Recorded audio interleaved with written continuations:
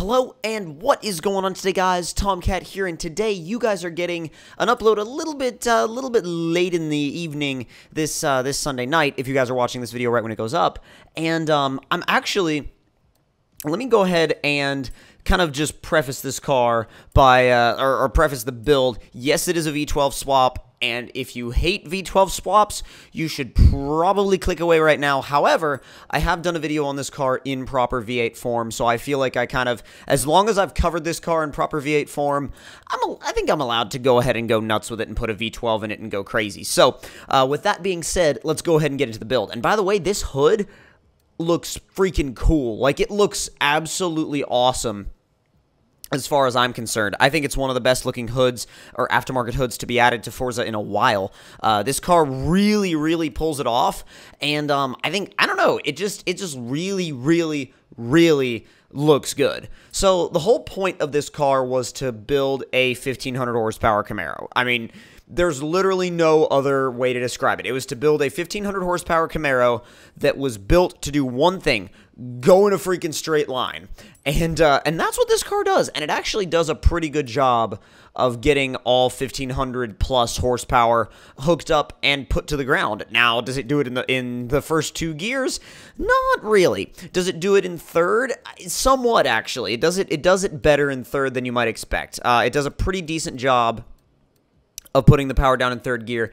I would say as far as, uh, I would say as far as really, really, really high horsepower cars go, this one's actually really, really composed and really controllable. Um, and that's in part due to the suspension setup I put it on, and that's also in part due to the fact that, in part due to the fact that this car has ridiculously wide rear tires. I'm not sure if they're 325s or 335s, but they are up there. I mean, they are really, really, really up there. Also, now, as you guys are watching this video, I'm actually going over some of the GoPro footage that I uh, that I took at the track literally earlier today as I record this video. Um, I'm back home now, and I just got back from Atlanta Motorsports Park in the S2000, and uh, we did we had a bunch of great laps around the track got to take some passengers around as well. So it was super, super fun and really, really cool, really enjoyable. It was nice to get the S2000 out there uh, on the stock suspension just to baseline it and see how it felt.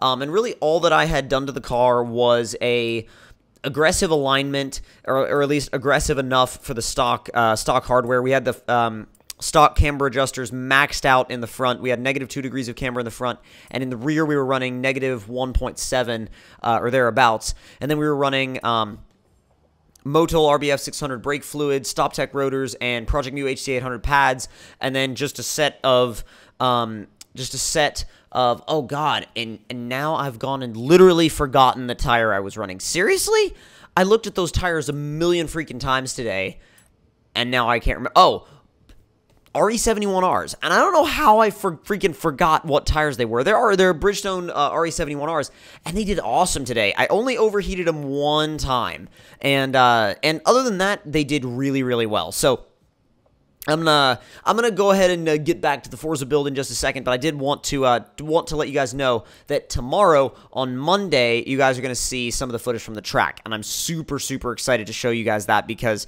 I had an absolute blast, like one of the best times uh, I've had on track in uh, in a while. And uh, the next step for the S2000 is definitely coilovers, coilovers, and then wheels, uh, and then we can start moving ahead on the aero stuff as well as exhaust. So I'm excited, I'm pumped, and I think it's going to be a really really fun build. So. Moving on into uh, the Camaro. Now, doing the tune setup, I pretty much, for the alignment, I set everything to neutral. Uh, I set absolutely everything to neutral, and I mean, you don't really need this this build to turn. Um, every other one of my builds, it either needs to go around corners or it needs to slide, and uh, and this needs to do neither of those. This just needs to go in a straight line as quickly as possible. And uh, and like I said, the tune setup kind of reflects that. So also we have the diff maxed out. I mean, we have the diff maxed out 100%, 100%. And uh, I think that uh, doing it that way doing it that way, I mean, you, you like it's always locked, so you're never going to be spinning away any power whatsoever. So at this point, I was ready to go ahead and get to the highway. And uh, when I started testing this car out, this was literally this was the first time I had ever driven it. Like this was the first time I had built it, um, first time I'd ever driven it. So I think a lot of the a lot of the first reactions of mine when I uh, first drove this car were very much along the lines of holy crap that's faster than I expected it to be. Now, for top speed, I mean, it would do 267. I really really really tried to stretch it to 268. I really did and uh, it was really close, but it like god, I don't know if it didn't have enough power or if the aerodynamics were off. I mean, it's a Camaro, it's a Camaro, so it doesn't really have the greatest aerodynamics in the world anyway. But with that being said, it's definitely not a, you know, uh, like a a terrible freaking brick of a car. I mean, it is sort of a brick, but it's not th that bad. They have come a long way from what Camaros used to be. Um, but until your tires warm up, you will get a little bit of wheel spin through third, and then you will hook up in fourth. Um, and the power when it comes in is absolutely savage.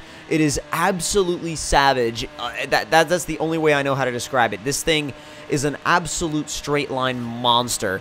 And uh, there are definitely a lot of built supercars that I would put this thing up against. Also, this thing loves brake boosting. If you brake boost in this car and then you just let off the brake and floor the throttle, you will take off into oblivion. I mean, this thing is so fast. It is warp speed fast. It is absolutely not so fast. And I know I keep saying it's fast, but it is. I mean, it's it it is uh, it's really really really quick. And I think that for a lot of different types of uh, for a lot of different types of, uh, of cars. This is definitely like in terms of you know V12 swapped muscle cars. This is fast. I mean, I know there are ones that are faster, but especially for for a lot of the newer muscle cars, this one's definitely up there as far as speed goes. And I think its weight. On one hand, the weight starts to it, the weight does hold it back a little bit, but on the other hand, the weight also helps it hook the power up. So there's like an, another case of the AI or AI Drivatar just barreling into you, but um, back to uh, the topic at hand, this car, I think its weight somewhat con contributes to uh, to how stable it is sometimes, and or well, most of the time. It's actually a very, very, very stable car, and it's really quick and smooth to change direction, even at like 250 plus miles an hour, which is really insane for a chunk of V8. Well, not even V8 anymore, but just a chunk of um, American muscle. I mean, really, that's what this car is. I mean, I don't know. A lot of people would argue, oh, it's not American muscle anymore. You put a V12 in it. Oh. But it's still a Camaro. I, I mean, you put a, in my view, you put a V12 in a Camaro, and it's still a Camaro. It's just a Camaro with a V12 engine with turbos strapped to it. I mean, what, what, there's there's nothing else more to it than that. It's still a Camaro to me.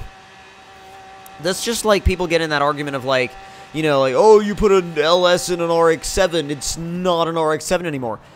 It's an RX-7, it's just an RX-7 with an LS in it. And I know I'm going to make all the rotary fanboys really, really, really, really mad with that comment, but I think, to me, a car is always going to retain its personality and its character that is, you know, inherent in that that body, that shape. It's very, it'll, it'll always be iconic. I mean, like, for example, like an S2000 with a 2J in it is still an S2000. I mean, it might go like a Supra and sound like a Supra, but it's still an S2000. It just is an S2000 with a 2J. So I think that that's a lot of like that's part of what people miss sometimes when they uh, when when they see engine swaps and then they get upset over like, oh, how could you put that in this car? How could you put this in that car? You know. And I also think that different cars are, I mean, like some, to a lot of people, there are some cars that are perfectly acceptable to swap, and there are other cars that are like not okay to swap at all. I mean, like another another example, we go back to the RX-7s again. It's a perfect example because the by the way, that gap was so freaking close. Like boom, that was just nuts. Uh, but anyways, back to the RX-7s. A lot of people think that well, you can swap any engine you want into a Miata, but you better not touch the rotary in an RX-7. You better not swap anything else into that RX-7 because that's sacrilege. And I disagree partially. if you're trying to keep the all original feel of an RX-7, leave the rotary in it. If you like rotary engines, leave the rotary in it. But if you want to use the RX-7 as a platform for a build for whatever purpose, be it circuit or drift or drag or, or whatever it is, you have a variety of options. You could build a rotary, you could put a V8 in the car, you could put a number of other engines into the car, and because really, when you look at a car in terms of not only its engine but its chassis, that's when engine options really start to open up. I mean, my, one of my personal favorite engine swaps of all time is the Miata with a Honda K series. The Miata with a Honda K series is almost the perfect swap because you get way more power. Like, sorry to like, I'm not I'm not attacking I'm not attacking Miatas and I'm not attacking Miata engines, but the Honda, the Honda K series is there's just way more to it than a you know than a mid 90s Mazda 1.8 liter. There just is. But uh, I think also too, I, I would love to see um, like a first or second gen Miata with a Honda F series, either an F20 or an F22, like you would see in an S2000.